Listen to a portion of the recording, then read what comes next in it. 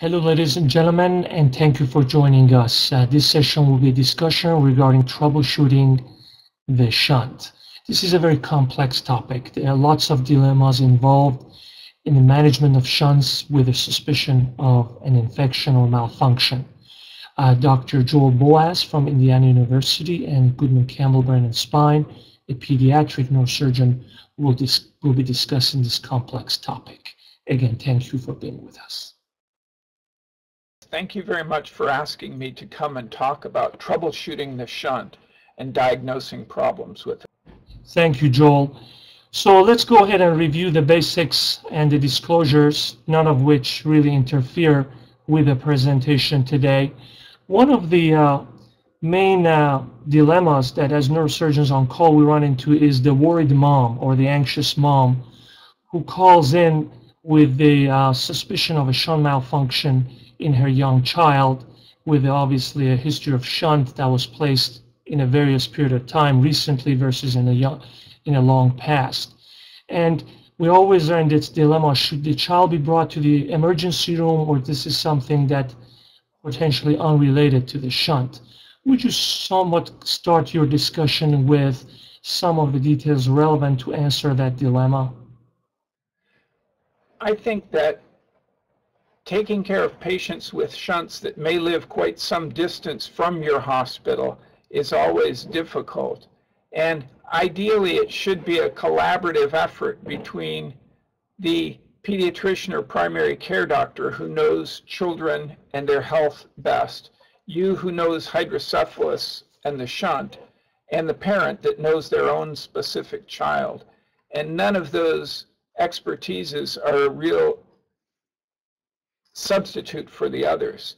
Um, so that by talking to the mother and potentially figuring out how high of a suspicion you have for a shunt problem, you avoid excess trips to your emergency room or clinic. Um, on the other hand, if a child is sick, then you know that they can come to see you. Some of the things that I think parents may tell you about that are of concern, certainly headaches. Um, headaches in a child that's old enough to complain are one of the most common um, problems that, that would suggest that the shunt is not working the way it should. Vomiting or lethargy or other things, uh, any decline in the visual performance, and that could include um, turning the head to the side or nystagmus or not being able to see the board at school. We do not like to see any decline in a child's performance, whether that's school performance or developmental milestones. Once a child has achieved a given level, we do not permit them to get worse without being concerned. And the last thing that I think parents will oftentimes tell you is that the eyes look different, that something is different about the child's eyes or their appearance.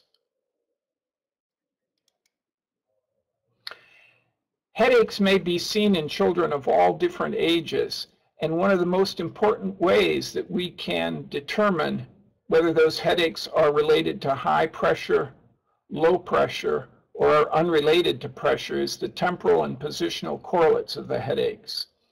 In other words, what time of day and in what position are the headaches most severe?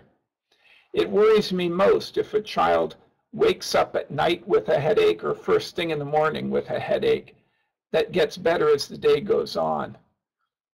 This is important because the pressure in the head is highest at night when the patient is flat and they are relatively hypoventilating, which means they will have cerebral vasodilatation. So I always worry most about headaches that are present on awakening in the morning um, before the child gets out of bed. Such a patient may decide that they need to have several pillows or to sleep in a recliner or something of this sort. The opposite side would be the child that wakes up feeling pretty good, but by 10 or 11 o'clock in the morning is feeling poorly at school, goes to the nurse's office and lies down, feels better after lying down for a half hour, and then once again at 3 or 4 o'clock is, is ready to lie down again. That timing and the suggestion that the patient is better when flat would suggest that that child is, is suffering from low pressure rather than high. So I always ask the parents a bit about the temporal and positional correlates